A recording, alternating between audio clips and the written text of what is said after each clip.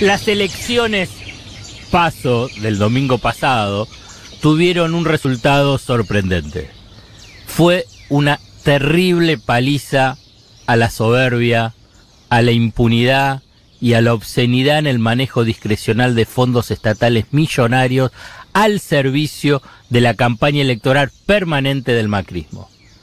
También fue un golpe contundente a la estrategia de la mentira planificada liderada desde la jefatura de gabinete por su jefe Marcos Peña. También fue un mensaje claro de gran parte de la sociedad que le decía no quiero más ajuste, no quiero más ajuste económico. La respuesta de un sector mayoritario de la sociedad cansado de padecer una constante pérdida de calidad de vida fue un grito contundente. Depositado el sobre con su voto. Basta Macri. A lo largo de estos largos, casi cuatro años, desde Cheque en Blanco, destacaba la capacidad de resistencia de la sociedad argentina al avance reaccionario de un nuevo gobierno neoliberal. Pero el interrogante que se repetía en estos años era ¿por qué no había un estallido social? Por la pérdida constante de ingresos y de derechos, tomando como referencia las dramáticas semanas del 2001. Ante ese interrogante, insistía con que cada proceso social tenía su propia dinámica. Y este el del macrismo, el de la Alianza Cambiemos, lo tiene. La historia argentina nos muestra varias y valiosas experiencias de resistencia del pueblo a gobiernos de derecha. Hubo resistencia clandestina a la proscripción de 18 años del peronismo, hubo cordobazo al ajuste y a la represión de Ocanía, estuvieron las madres y abuelas de Plaza de Mayo para enfrentar los años de la dictadura al inmenso aparato de represión y asesinatos que dirigió las Fuerzas Armadas. Fueron los trabajadores despedidos, reconvertidos en piqueteros, que mostraron el camino de la resistencia al modelo neoliberal de los 90. Fueron trabajadores y clases medias que se rebelaron en el 2001. Es una sociedad que resiste los proyectos de exclusión social, de represión y violencia simbólica e institucional. Durante estos años de macrismo, hubo muchas manifestaciones de resistencia a la prepotencia del poder, al desprecio a las mayorías, a la ofensa a la memoria de los desaparecidos. Hubo decenas de marchas contra el tarifazo, hubo cacerolazos, protestas masivas para frenar el fallo de la Corte que beneficiaba con el 2 por 1 a genocidas, a genocidas presos, inmensas movilizaciones de las mujeres, Mientras en meses donde la soledad y la exhibición de un poder impune parecía que era un escenario inmutable, se iba gestando esa fuerza subterránea, aluvional, que emergió con fuerza y alegría el último domingo. Nos reunimos en ese domingo, a la noche, en un sentido e inmenso abrazo virtual de satisfacción por haber defendido en la adversidad nuestras convicciones. En la adversidad nos reconocimos y nos descubrimos fuertes, no sin transitar situaciones que nos desalentaba, pero reafirmando una y otra vez que la construcción colectiva nos permitía mantenernos unidos. Recuerden que siempre les aconsejaban juntarse con otros, mirarse a los ojos y compartir momentos, no dejarse ganar por la resignación y pelear desde la alegría y no desde el odio este domingo de las pasos, sabiendo que todavía falta el, el partido verdadero de las urnas en octubre, fue un desahogo. Más que el triunfo de la fuerza de la oposición, el sentimiento que quiero compartir es que ha sido derrotado nuevamente el neoliberalismo. Y tiene que ser una enseñanza que debe marcar a fuego a las mayorías que después de este tercer experimento conservador y de ricos para ricos, tiene que ser una enseñanza para no tropezar con la misma piedra. Para esa tarea, más que nunca, vale nuestro consejo de cada sábado. No tengas miedo, no siempre se choca andando a contramano. Tengo dos columnas. ¿no? Una de economía, una de política. Todos quieren, están desesperados para saber el tema del dólar. A Eso va a ser la claro, segunda. después, sí, sí, sí. Esa- Vendé, vendé, vendé. Pero no, no, pero no vender, porque ¿sabes qué? Porque me parece que el tema político hoy es el que marca. Antes, bueno, yo les voy a mencionar algo, digamos. Yo les mencioné hace bastante, cuando comenzó la crisis, que hay diferentes fases, financiera, económica, social y política. Bueno, dígamelo. Sí. Sí. No, no, más, más- con más énfasis. Sí, Sí. sí, vos dijiste. Ahí, ahí está. Lo anticipaste. Ahí está, gracias. Falta gracias. una, falta una que es la que Bueno, pero esto es lo que estamos viviendo. El- incluso en ese momento yo les mencioné porque somos contemporáneos a una de las grandes crisis históricas de la Argentina. Argentina, podemos decir, tuvo cinco grandes crisis económicas. Bueno, esta es una de ellas. Rápidamente, lo quiero decir, en el 58 Frondizi hace la primera gran devaluación. Obviamente no habíamos nacido, no sabemos nada. Esto simplemente por historia, por haberlo leído. ¿Vos tampoco? Eh, no.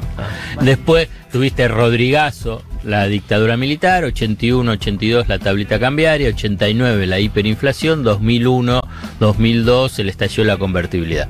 Esta es otra de las grandes crisis históricas para, para que tomemos una dimensión de lo que estamos viviendo. ¿Cómo se llamará esta? Macrisis. Más crisis está muy buena. bueno, entonces, cuando yo les mencionaba lo de las fases de las crisis, es simplemente por haber estudiado, por saber, por haberlo vivido y simplemente para conocer, porque no solamente es en Argentina, sino también las historias de las crisis. Entonces esa hay que aprenderla. Viste que muchos eh, mencionan el tema de, bueno, cómo son los aprendizajes de los empresarios y que los empresarios argentinos tienen que, eh, son muy codiciados a nivel mundial porque enfrentan las situaciones más caóticas, tranquilos y todo, y las y lo saben enfrentar. Bueno, yo creo que los analistas, periodistas, economistas también tienen que aprender de lo que son las crisis en Argentina para poder entenderlas, cómo son las fases de las crisis.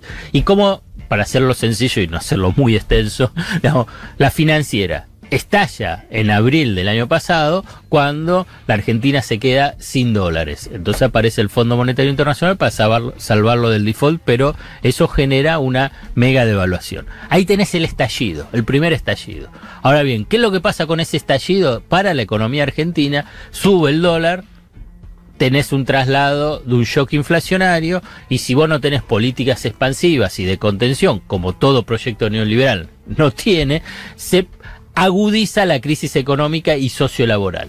Cuando se agudiza la crisis económica y sociolaboral, empieza a debilitarse la fase política, o sea, el gobierno empieza a perder legitimidad, pese a, y que era abrumadora y sigue siéndola, aunque ahora ya cada vez se está diluyendo, ese blindaje, ese blindaje mediático que pensás, no, igual, todo el poder que tienen, todo el poder que tiene, pero esa legitimidad política por el estallido financiero y que pasa a tener en su fase económica social, empieza ya a horadar esa fortaleza eh, política. Y en ese momento hubo una, una expresión de esa, de esa crisis política. ¿Se acuerdan cuando hubo ese fin de semana que eh, había renuncias, que iban a cambiar, eh, qué cosa iba a cambiar el gabinete? Cuando disminuyó la, la cantidad de ministerios, bueno, era ya manifestaciones de esa crisis política. La idea del desdoblamiento, manifestaciones de la crisis política.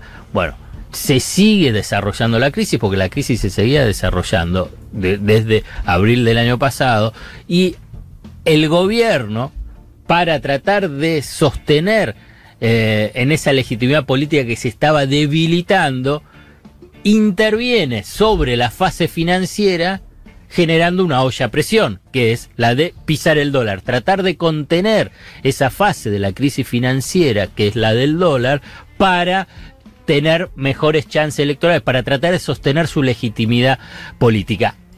Al mismo tiempo, vos tenés ese desarrollo de la fase del deterioro de la situación económica y social que cómo lo veíamos. Lo veíamos con la sucesión de caídas de empresas y de grandes empresas y de marcas conocidas y de incremento del desempleo y de caída del empleo industrial. Eran todas expresiones de esa fase de la crisis económica y sociolaboral que se iba desarrollando. Entonces, pero el gobierno, para tratar de mantener esa legitimidad política, bueno, pisaba el tipo de cambio, con que subiendo una tasa de interés alta. Así se iba desarrollando, y pero hay eventos, hay eventos como elecciones que hacen que se expresen en forma mucho más abierta y ya sin blindaje mediático, esa, qué es lo que está pasando con la crisis. Vos antes mencionabas, Chelito, dice, bueno, lo que eh, había, eh, perdón, eh, eh, Julio, Julio. que había una crisis de proporciones, pero ¿a dónde, cómo se podía manifestar? Y se manifestó en las urnas. Pero además cuestiones simbólicas muy fuertes. Déjame decir,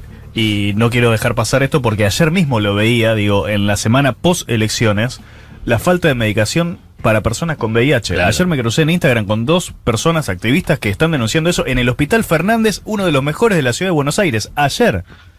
Y otras cuestiones como por ejemplo eh, dos eh, kilómetros de cola para cubrir puestos de trabajo. Digamos, este, eso sigue pasando. Bueno, esas son, esas son manifestaciones de las crisis, pero la cuestión es, bueno, ¿cuándo es que irrumpe ya abiertamente? Cuando aparece el tema de las elecciones. Claro. Entonces, pero aparece el 12 de agosto y no apareció el 28 de octubre o el 28 de noviembre, ¿no? Es el, o el 27 22. de octubre. ¿Eh? 27 de No, octubre. son las elecciones, pero el día siguiente, Ah. Claro. 28. Claro. Y la de el e- en un eventual balotage es 27 de noviembre. 22 de noviembre. 22 de noviembre sería entonces 23 de 23. Sí, noviembre. que yo creo que esto es lo, lo distintivo de esta crisis.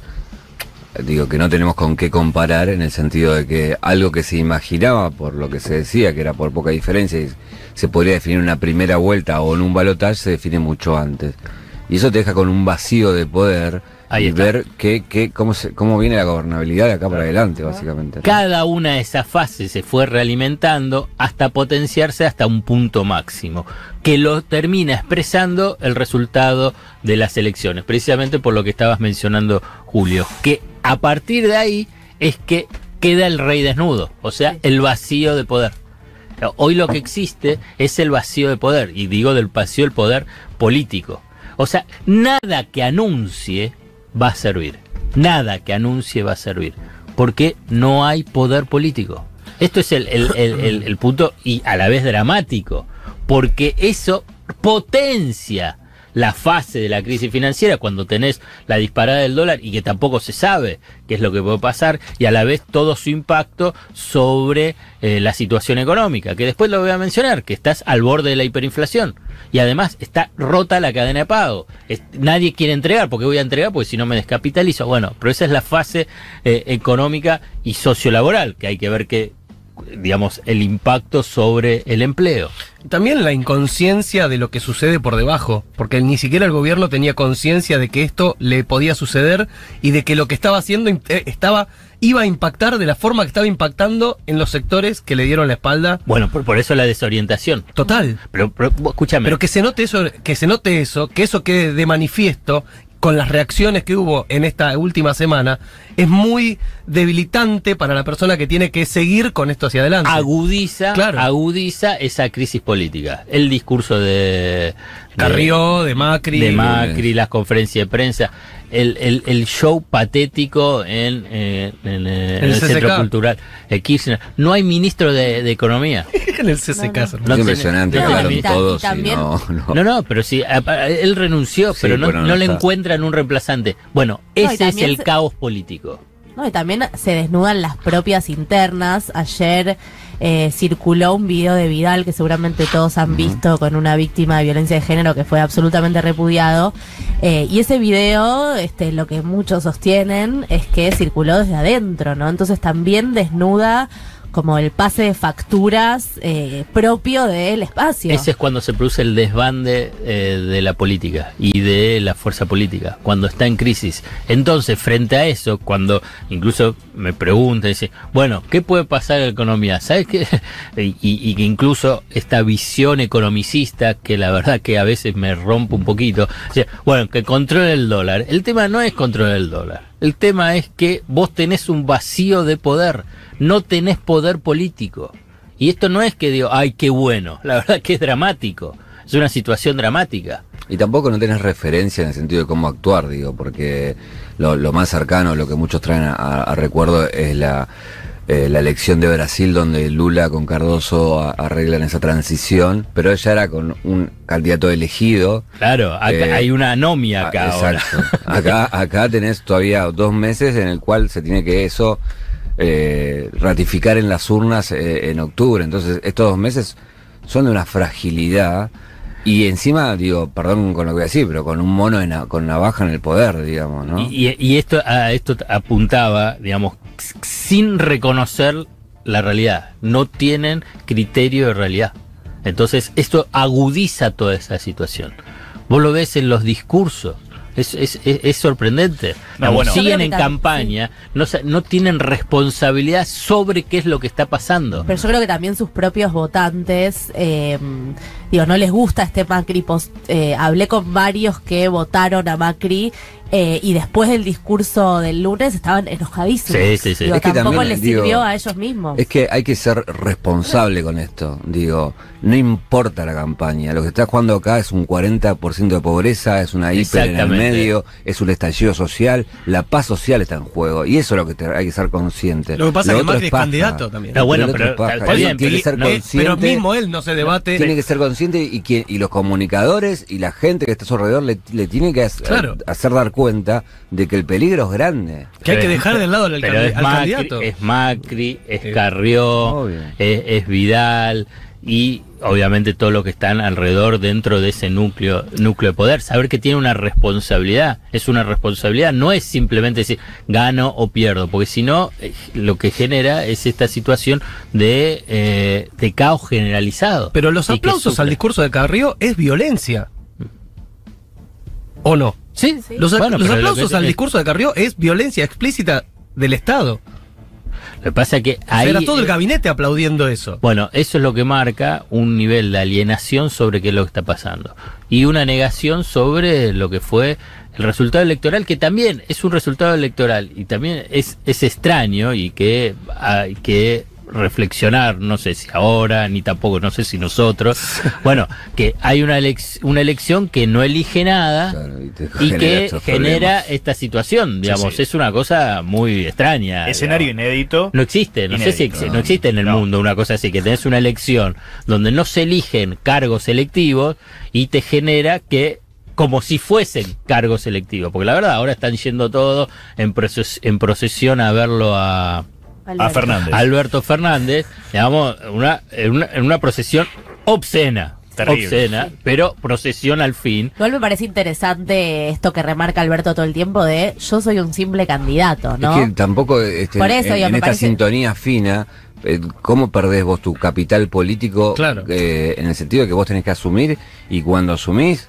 digo, de lo que haces de este tiempo hasta que asumas, se te puede desgastar tu capital político. no, por supuesto. Primero es tenés que ser electo. Primero tenés que ser presidente electo No, pero eso digo, antes de empezar a jugar este juego que Pero, vos pero- estás diciendo. vos tenés presidente, pero si fuese presidente electo Claro, el 27, ni- todavía te falta hasta el 10 de diciembre. Claro. Sí, sí. Es una eternidad. Recién ahí todo. empezarías a recorrer la transición. To- Toda una eternidad, digamos. ¿eh? Hay una anomia característica de que si uno ve en los eh, cierres, salvo el. Bueno, hasta también hubo el 9 de diciembre del 2015 con el tema del. De, Es formal e institucional, pero también vos ves a, a lo largo desde el 83 mejor dicho, desde el 89 a la fecha, situaciones que no hacen a una normalidad institucional que permite una estabilidad, no por la institucionalidad sí, sino por una estabilidad. El 89 hubo un adelantamiento de las elecciones, esto hay que recordarlo. Claro. Y, y tienen muchos parecidos. Muchos parecidos con lo que estamos viviendo. Vamos, no se va a repetir, nada se repite, sino que tiene muchos parecidos. Pero en el 89, el 6 de noviembre, el 6 de febrero del 89 hubo una gran devaluación, porque había toda una presión para Claro. la devaluación. Se tuvieron, y, y ahí se disparó el tipo, el dólar, hubo un shock inflacionario. El candidato del oficialismo, que era Angelos, ¿Qué es lo que pidió? Que se vaya el ministro de Economía, en ese caso Zurruil, aparece Pugliese, Pugliese sale al mercado con su famosa, Famosa frase, frase. les hablé con el corazón, me contestaron con el bolsillo y termina Jesús Rodríguez en el mes de la gran hiperinflación que fue la de julio. Que es Se el adelantó- nombre que nadie quiere ocupar, ¿no?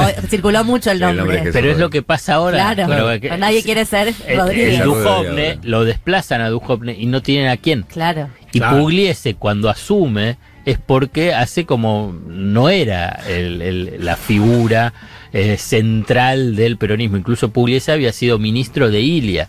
Ya era como, bueno, hago mi último aporte patriótico dentro del radicalismo. En el 89 la selección iba a ser eh, en, oc- en octubre. Se adelantan a mayo y se adelanta la entrega del poder en eh, al 9 de julio. Por eso Que los asume Menem, claro. Asume Menem, por eso los manda el mandato de Menem fue 10 años y medio. Claro. Porque ese medio año del 89 es el de el que hubiese sido de Alfonsín, pero además después se hace la reforma constitucional en el Claro. 94, entonces el mandato de 6 años pasa a haber dos mandatos La de 4. RR. Entonces pasa a tener 10 años y medio. Después de la Rúa, de la Rúa solo dos años.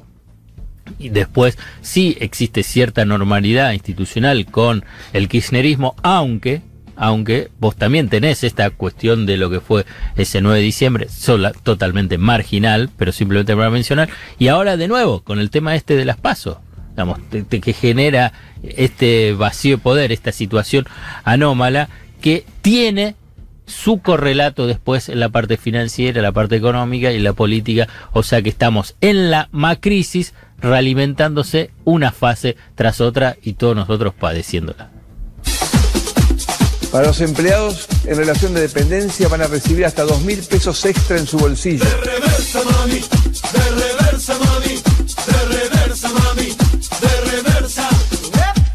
Hoy nos ha pegado un impacto muy fuerte esto. El dólar de vuelta volvió a subir con todas las consecuencias que eso tiene, todos lo sabemos. Hasta a partir de este resultado electoral, desfavorable al gobierno y favorable al kirchnerismo, se da vuelta todo.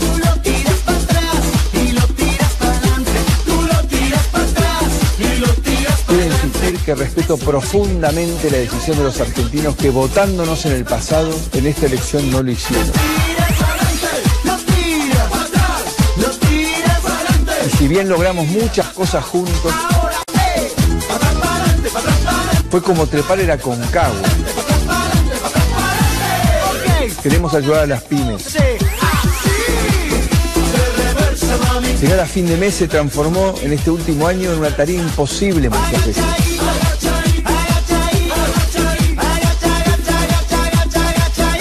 La alternativa kirchnerista no tiene credibilidad en el mundo, algo que yo se los vengo contando hace tres años y medio.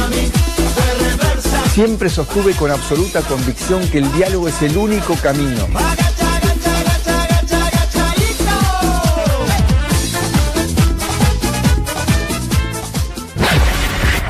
En blanco. El placer de despertar en medio de una pesadilla.